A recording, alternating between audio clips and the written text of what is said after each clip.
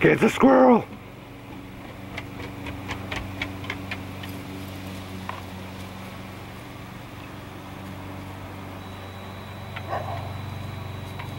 That's a squirrel right there in the very top of that tree.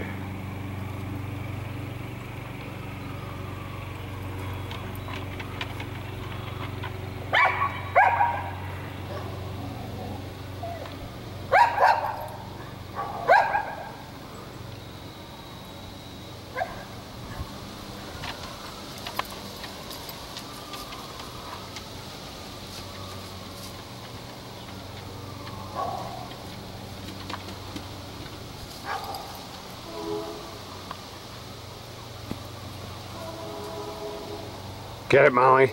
Get it. Get squirrel.